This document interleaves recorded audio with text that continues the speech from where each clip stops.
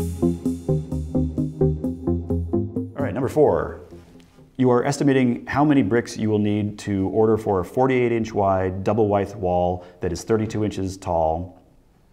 Uh, wall in there probably too many times, uh, for part of a patio design. The bricks are sort of standard bricks and normal bricks. Um, how many bricks would you need in order to do this?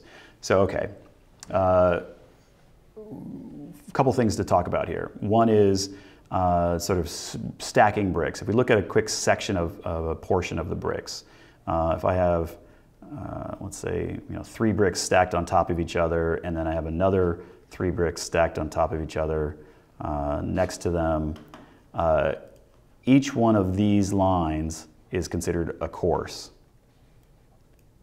Course of brick. Each one of these lines is considered a wythe of brick. Um, I've talked to people a bunch of times. Some people say wythe, some people say wythe. I prefer to say width just because it differentiates, differentiates it from the word wythe. Um, but uh, I actually, I think wythe is actually the technically correct term. So people will say it different ways, it doesn't really matter. But uh, that's, uh, the vertical line um, is, a, is a width, the uh, horizontal is a, is a course.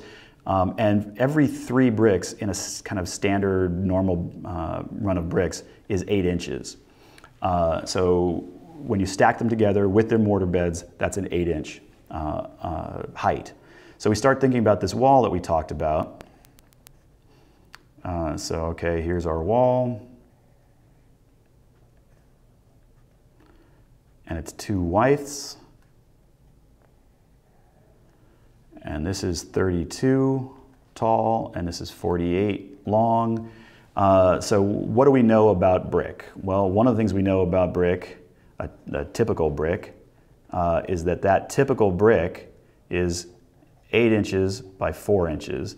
And the height is sort of the odd, right? Because the height is like one third of the eight inches. So most people don't really worry about the height. They, they think of it in the groupings of three because it's just easier to do the calculations. Um, now remember, just like the CMU, that means that the eight is actually seven and a half, seven and five eighths, a couple of them, like there's quite a range in there. Uh, bricks are more uh, malleable than, than CMU, uh, so it'll be a little bit more of a range, but it'll be a similar thing. But in terms of nominal dimensions, it'll be um, eight by four, four by eight. Uh, so that eight inches in that brick, I start looking at that 48 inch length of the wall, uh, I can have every one of the bricks is eight. That means I have six bricks uh, in that uh, in that row um, for every in that course, every every uh, part of uh, section of that wall, that every course of that wall. And then now the question is, well, how many courses do I have? Well, if I have 32 inches tall and every eight inches is uh, three courses, so I can start dividing that into four groupings uh, one, two, three, four groupings of eight inches. So I've got four groupings of three courses each. Therefore, that's 12. Four times three is 12. So I have 12 times six. It's going to be equal to 72. So uh, as I did when I was first writing this, I was like, okay, so the answer is A, 72. And then I realized, oh, I, I tricked myself. It's a double wythe wall, so I have to double it because I have the same number of bricks on the backside of the wall as well. So the actual answer here is B, 144. Um, so this is one of those things, you start seeing uh, a few simple dimensions and suddenly it all starts piling together. Like one of the things you probably should have noticed if you didn't realize already is the stack of three bricks, eight inches, that's the same as a CMU. So same as the height of a CMU. So I can say if I have a backup wall of CMU with an air gap and then a veneer of brick, uh, I can say that every three bricks is one CMU, every uh, three CMUs is going to be nine bricks, right? It's a, you can very easily sort of run these things back and forth, and that's really important because you also want to be able to uh, make sure that, you know, if I have a, three bricks in a row, um, and then I have a CMU back here, uh, and I've got an air gap. I want to be able to put the, um, the, the ties, the ladder ties, or some other kind of ties across. I want to know that those are always going to match up with each other so you're not having a sloped tie or something. Um, so the fact that these things are actually modular is really useful and helpful. Uh, and you start, once you start getting into just a few of those dimensions, they suddenly all start to kind of tie together and you start seeing how everything kind of fits together. And it's actually a very useful way of thinking about these things. Um, another little tricky thing that I threw in here was a square of bricks. Um, square is actually not used for bricks, that's used for roofing. So you'll often hear people will refer to a square of roofing, and what they're talking about there is a 10 by 10, 10 foot by 10 foot area of roofing. So if you have a, a, a shingle um, that uh, would be exposed, would be say one square foot exposed, then um, uh, you would there would be a hundred square like whatever it would take to get a hundred square feet of exposed finished uh, uh, uh asphalt brick I mean asphalt uh, shingles um, or slate shingles or whatever. This is a way of talking about kind of um, ordering um, uh, roofing materials because they are so different in terms of how much they overlap and all that. What you really care about is what is the finish amount that I'm going to get. So square you'll see show up, but not about brick. It'd be about roofing. Um, a couple of other things to mention here uh, that when you're tying these things together, uh, when you start thinking about how, how all this stuff kind of fits together, you'll notice that uh, the bricks are much more, they, they fit into the module, but they're also much more um, malleable. Uh, the, the bed, the thickness of the bed can be adjusted. Uh, you can have a thicker uh, mortar bed, you can have a thinner mortar bed. So you have a lot of ability at sort of uh, adjusting something to get it right. But the thing you'll definitely find is that this, this dimension, that eight inch dimension, um, will show up all over the place because uh, while getting the heights to sort of adjust easily, uh, you really don't want to get into situations where just sort of um, by accident of not really thinking it through, I have like a sliver of brick uh, next to a full brick. Um, like that starts looking really ugly. Uh, and so using the module in that direction becomes uh, really important.